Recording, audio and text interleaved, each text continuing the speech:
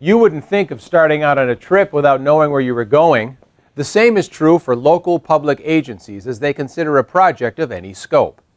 Think of a transportation project being developed under the Federal Aid Highway Program as an extended road trip with a series of required waypoints.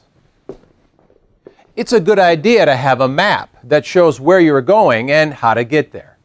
This presentation will provide you a sound understanding of the phases or building blocks and the major approval milestones. America has the best transportation system in the world where safety is the top priority. The Federal Highway Administration values the public trust of delivering quality projects and protecting the civil rights of everyone who is affected. Understanding this program and how projects are advanced will help to preserve this trust and continued confidence. Projects that use federal aid highway program funds typically follow a series of six fundamental phases of development. Each phase embodies the building blocks leading to successful project delivery for your local public agency. The first phase is planning your transportation needs and ideas are conceptualized during the planning phase. Next, building upon the decisions initiated in planning, the project moves forward through the five remaining phases of development from environmental studies, design, right of way, construction, and ending at maintenance and operation. As the project progresses through each of the six phases, your local public agency also must take into account three major approval milestones environmental document approval, plans, specifications, and estimates, and closing the project. Obtaining approval at each of the milestones advances the project.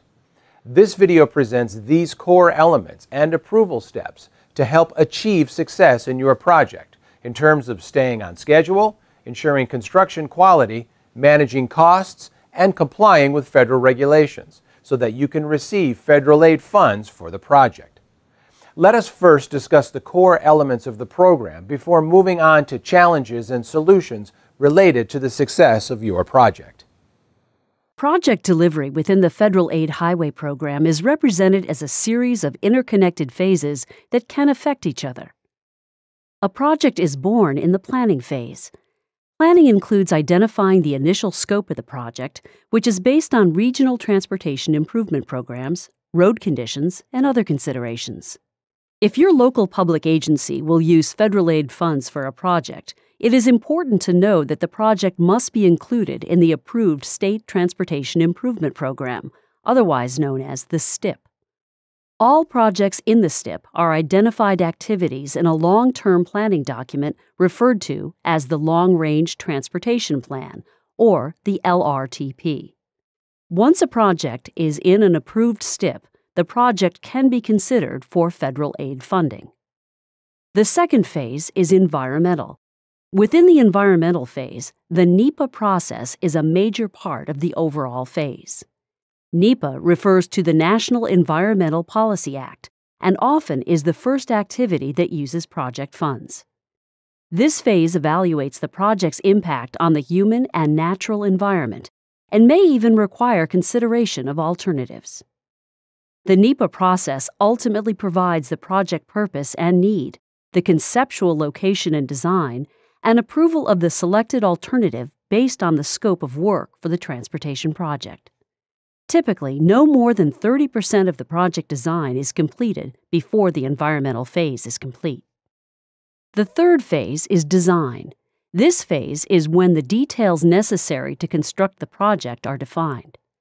At the end of the design phase, the plans, contract specifications, and estimated cost package is assembled.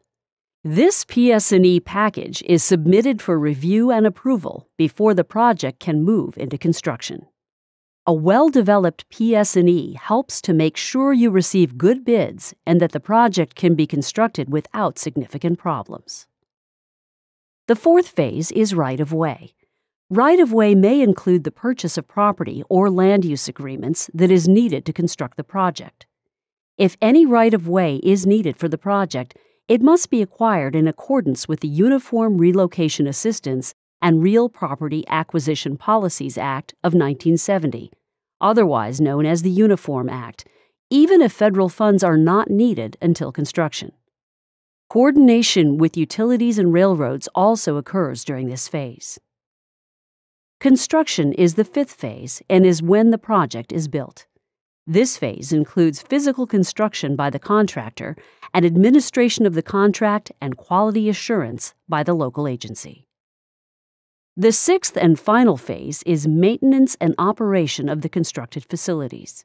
This phase includes opening the project for use by the public and making sure that it remains in good working order. Generally, project delivery is broken down into pre award and post award activities.